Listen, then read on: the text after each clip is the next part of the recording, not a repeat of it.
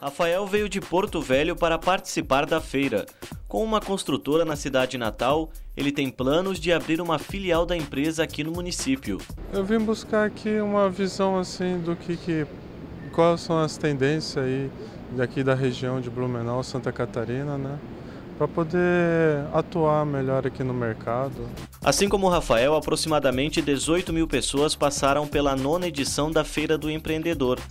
Além das 80 empresas em busca de oportunidades de negócio, o visitante contou com outras 450 atividades, entre palestras, oficinas e clínicas tecnológicas. Aqui ele vai encontrar informações para abrir o seu negócio, para melhorar a gestão do negócio que ele já tem.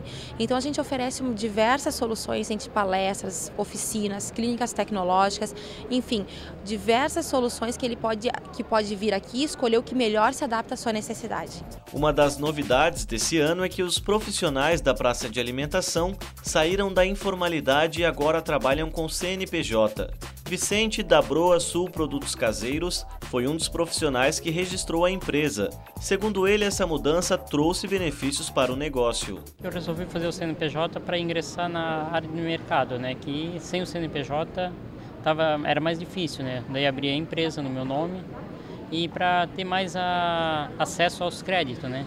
Daí então tu tem mais apoio. Uh, tem o programa. Esse ano eu consegui pegar o um programa juro zero, né? Que eu já tenho CNPJ, então foi mais fácil para adquirir esse, esse financiamento. Agora, as cucas e os bolos de Vicente fazem o maior sucesso. Mas não é só ele que está comemorando o crescimento da empresa.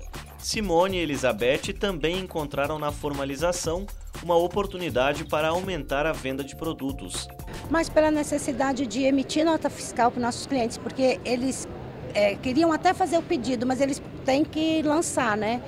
Então nós resolvemos formalizar para entrar melhor no mercado, para ter uma fonte de renda melhor, né? Maior, aliás. Começamos a ter mais pedidos, né? Por causa das notas fiscais. Também passamos a comprar melhor. Então, e esses docinhos são entregues onde? Eles são entregues só sobre encomendas. A gente só trabalhamos a maioria sobre encomendas.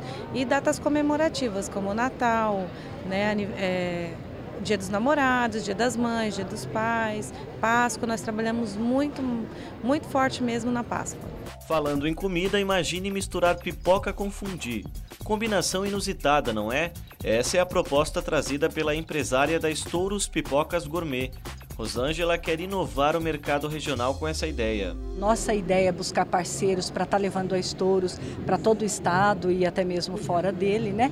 É, por ser um, um processo simples, um investimento relativamente baixo, com uma lucratividade bem interessante. E para quem gosta de tecnologia, a equipe da Andrade Máquinas veio com novidades. Esse equipamento faz bordado em 3D, uma inovação no mercado das máquinas de costura. A empresa, que já tem 56 anos no mercado, tem crescido de 30% a 40% ao ano, depois dessa técnica adotada por eles. O diferencial é que a gente usa uma técnica, né, uma técnica de aplique, que dá essa diferença toda no bordado, dá uma vida né, para o bordado em si. De onde surgiu essa ideia? Essa ideia é, tem uma outra equipamento que é uma máquina de corte a laser que a gente faz a integração do laser com a máquina de bordado. Então a gente corta o tecido na máquina laser e aplica no bordado dando esse efeito que vocês estão vendo aí. Além de todas essas oportunidades de negócio, as empresas também contaram com o Startup Day. Foi uma, um evento que o Sebrae Santa Catarina configurou em parceria com o Circuito Startup para empresas de base tecnológica.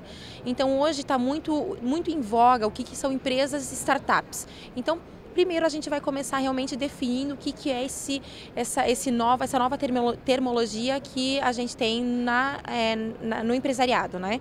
Então, começando com as palestras, depois nós temos um meeting up entre as empresas de tecnológicas e também os investidores, e depois a gente termina com o desafio startup e a premiação desse desafio.